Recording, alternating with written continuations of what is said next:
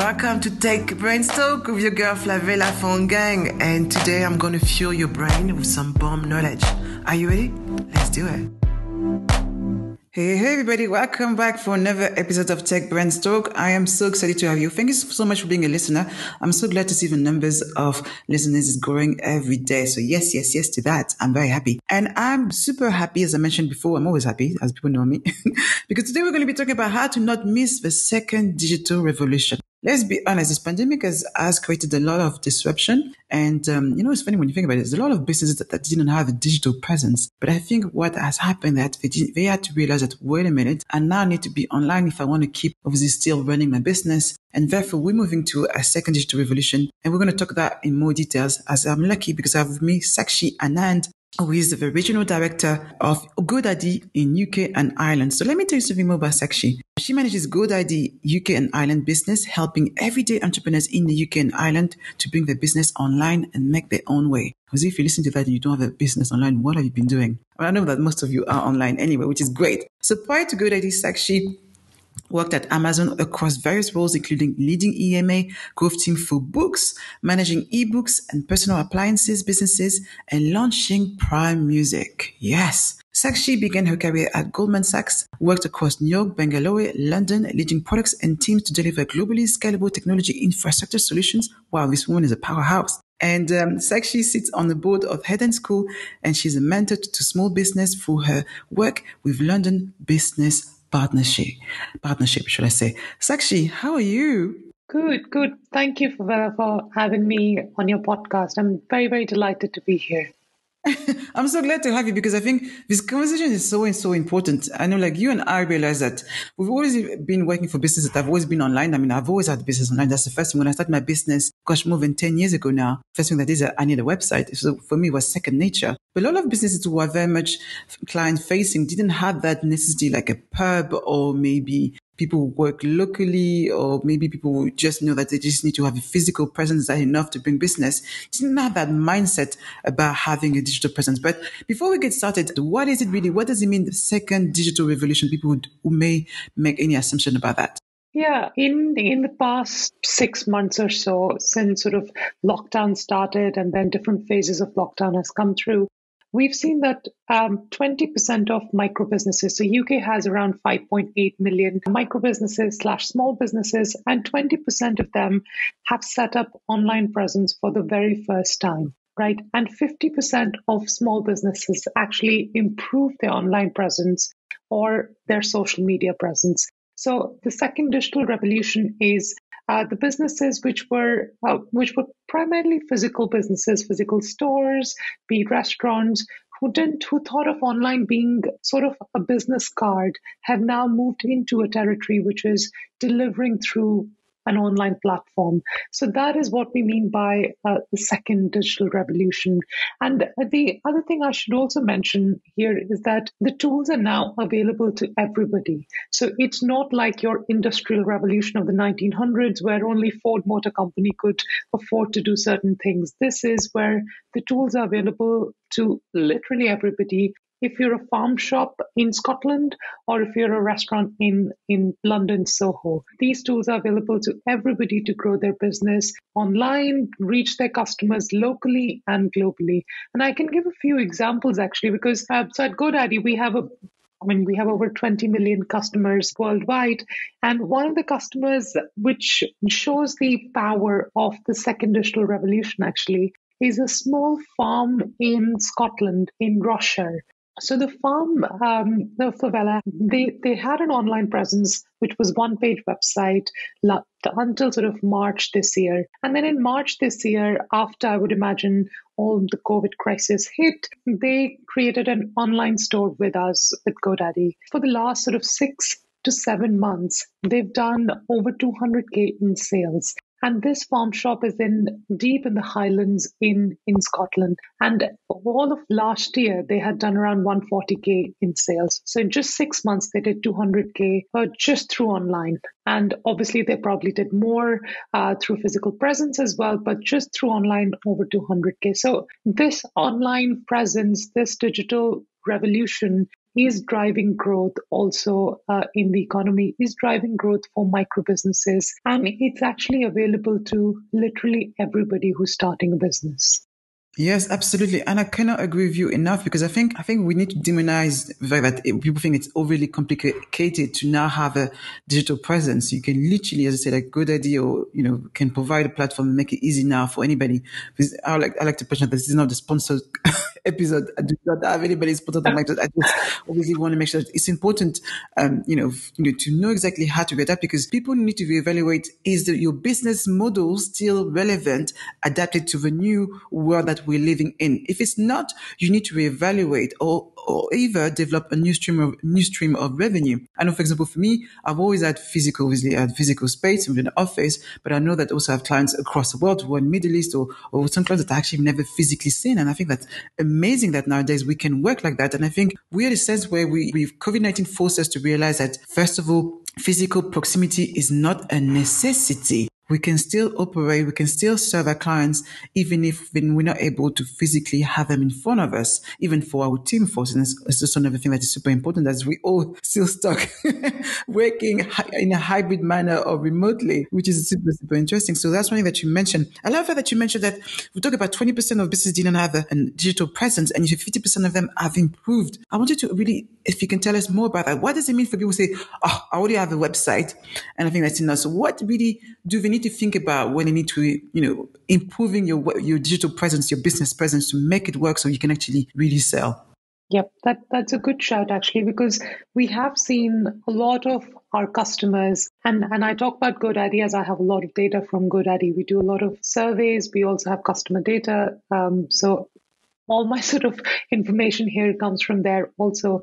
But we we did have a lot of our customers who had online presence. Um, having a website has already been, um, I mean, in the UK, a lot of our customers already had online presence. However, as the pandemic hit, what we found was that my customers, GoDaddy's customers, wanted to be found. They wanted their customers to find them. Uh, so if it if, if it were a restaurant, they wanted their customers to know that they're open how they improved was as follows actually. First thing was they made sure that they are they can be found on google. So improving their seo was ultra important for them that they need to make sure that keywords are in the right place uh, they have the right keywords and um, GoDaddy's SEO tool or whatever website provider you use, their SEO tool helps you to do that. So that was an easier, relatively easier thing to do. The second thing, which I helped with a few customers as well personally, um, was to reaching out to their own customers through email as well. Again, in early April, the cafe downstairs for me actually wanted to let their customers know that they're open, not just, it's just for uh, deliveries, not for uh, sort of sitting, but they are open. They are open for business. How do they let them know? So they had to sort of uh, reach out to their customers through email and email marketing or Facebook. Uh, how do they go about that? My cafe downstairs did not have a Facebook account, so obviously didn't have followers that they could let them know about. So they had email marketing. They use GoDaddy's email marketing. Again, you can use whatever a website provider you're using, email marketing to let your customers know that you are open and they can find you either on food delivery platform or directly through the website as well. So that was number two. And number three was actually uh, adding e-commerce functionality to your website. Similar to the farm shop I mentioned, the farm shop actually didn't have the uh, didn't have an e-commerce functionality until March this year. As soon as they added e-commerce in March, you can see their sales go up um, exponentially actually. So adding e-commerce was the third thing that a lot of my customers did to improve improve their online presence. And the fourth thing i might add actually i have a list of five things. So the fourth thing i might add is also facebook instagram social media presence to let people know that uh, they're there for their customers. They're open for business. So just having that presence felt was ultra important and that was number four. Again you can you can connect your facebook instagram to your website very very easily as well And then finally, number five was actually, and this is coming in summer, was a connection between your physical store and your online store. So as restaurants started to open up, physical stores also started to open up. People started to coming in. However, that doesn't mean that you let your online presence wither away. All the work you've done to get your online presence up to scratch shouldn't just sort of go to the back burner, basically. And that's another thing. Keep maintaining your website, keep adding the right things, taking out the menu items that you don't offer, for example, because online presence is here to stay now. And that's the second digital revolution, actually. Yeah, I totally agree with you. I think it's important. I know that, for example, for me, if I'm looking for anything now, our first uh, behavior is to look online. Do you have a website or I look good for my phone? So when I'm trying to make a reservation, if you don't have the option for me to make a reservation online, I will look for somebody else who allows me to make a reservation online. And that's super important. If you don't have something, the integration, you can, there's a lot of tools that you can use, um, you know, to integrate within your business, whatever you have a physical store, whatever you are a restaurant. And I think what people forget as well, you know, what you mentioned is that people are looking for convenience. They won't want to, obviously, they're stuck at home, especially if you, if you are, if you've been abroad and you have to be stuck at home for 14 days, you want everything to come to you. So you can't, you know, you want to be able to, from a, from, after a number of clicks or number of, you know, of visit on, you know, via mo- mobile to be able to find what you're looking for and then get somebody to come and deliver it. So it's so, so, so crucial to do that, right, actually? Absolutely. Um, I mean, I couldn't agree more. And with GoDaddy, we have so many customer examples who've sort of pivoted in a way so let me give an example actually, because I, I find customer examples incredibly inspiring actually. Uh, so small example is there is a customer of, of ours who has a vegan pie business. Now they, they had this big vision that during the summer of 2020, they'll have a mobile pie and mash wagon, which is going to go around the country in food festivals um, all around, basically. Obviously, there are no food festivals at the minute because of I mean COVID. So um, they had to obviously pivot as well. Now, what they did, and I find this incredibly inspiring, they basically created a sort of mail order pie business, which is a mail order vegan pie business, I must say. So they, when GoDaddy created a website, created e-commerce store, and now they deliver pies, vegan pies online. And they've done a stellar job through their Facebook, Instagram, email marketing, SEO to make sure that they are visible out there in the big wide internet, that anybody who wants vegan food can find them very easily, or anybody who, who likes pies can find them very easily. And they've seen their business grow uh, remarkably as well. So these are things that have inspire me a lot uh, because people have pivoted their businesses very, very quickly. And this basically means that once all this is behind us, they will have a new revenue stream because they can start with their wagon business uh, going around the town in food festivals, but also sell online. So they have now two revenue streams. When hopefully all of this is behind us, hopefully very, very soon. Yes, I love that. I think that's a great way. And something that, you know, as human, we know we just have to look at any problem as a solution. And you can see, you know, there's always, there's always a solution if we look a bit, you know, further and if we search for that. And I think super, super important. It's a great example of how people can readapt and find new solution to still be resilient with their business. I'm going to ask you tricky questions, actually. people might say, well, Shopify is great. And uh, why should I use GoDaddy? That's the question because I think people, when you think about GoDaddy, say, oh, you want a URL? Let's go to, you know, get your URL on GoDaddy and then maybe go back to Shopify. So why people should, you know, think less about Shopify and say, hey, maybe GoDaddy is better? Yeah, it is a tricky question. Um, so the big question around here is actually GoDaddy's mission is to empower everyday entrepreneurs. Everyday entrepreneurs, micro businesses in the UK especially, are 96% of total UK businesses. So, and I'm, I'm sort of quoting government stats here. Now, they play a crucial role in our economy's recovery, in our economy. GoDaddy provides all the tools for growing online, being online, being at your domain name, being email addresses, being marketing tools, website, e commerce. And also, we not just provide the tools, we also have a very, very solid, what we call customer care, which can help you get online as well. So, be it creating your website, be it managing your website, be it basically having I mean, having a chat about what's wrong with my website or what's right about my website. So this is this is why uh, I obviously work here, but I also recommend GoDaddy even before I worked here because it's a full holistic experience of whatever you need to be online whatever you need to grow online as well. So that's why I would say um, that's what GoDaddy offers, which which nobody else does. It's it's a mix of all the tools you need to grow online combined with our customer care, award-winning customer care, along with the capability of we can create a website for you, maintain a website for you, or give advice on website, or give advice on online presence in general. No, a great answer. and I think one thing that people always forget is that no matter what technology you use or no matter what technology you develop, it's always about people. And people really value great customer experience. You know, that's something that's super totally. important.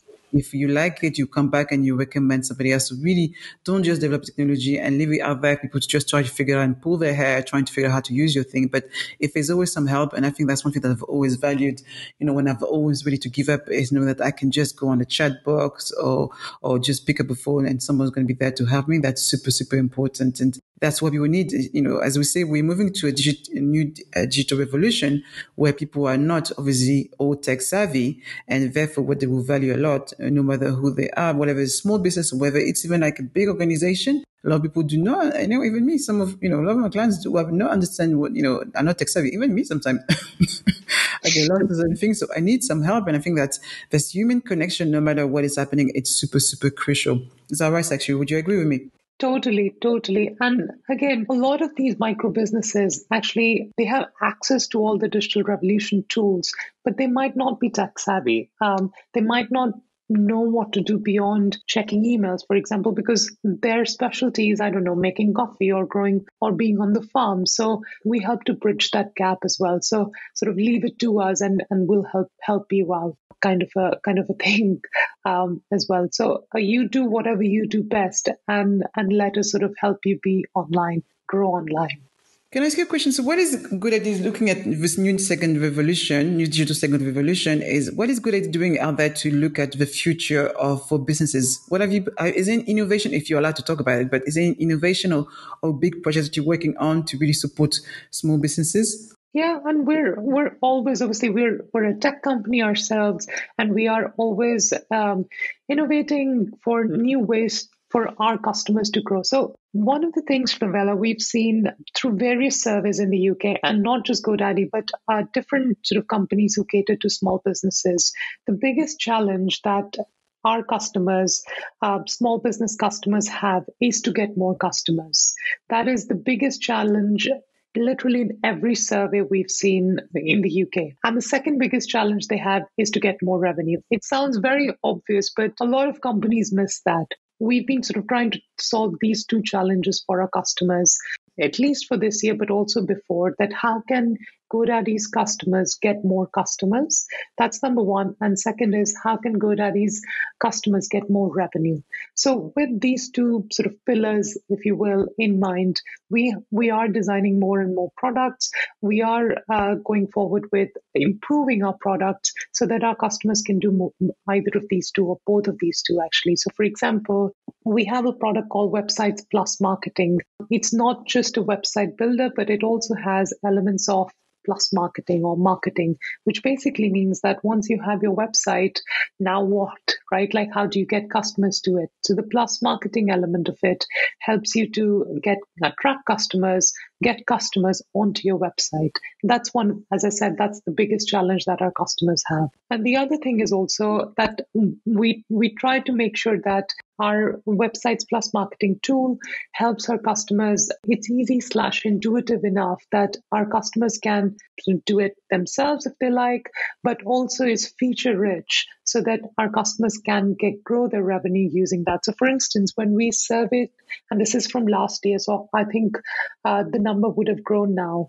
When we surveyed our websites plus marketing customers last year, they mentioned that they grew their revenue by 13% by using websites plus marketing products so on an average 13% so that was sort of the second second challenge that we wanted to solve for our customers as well.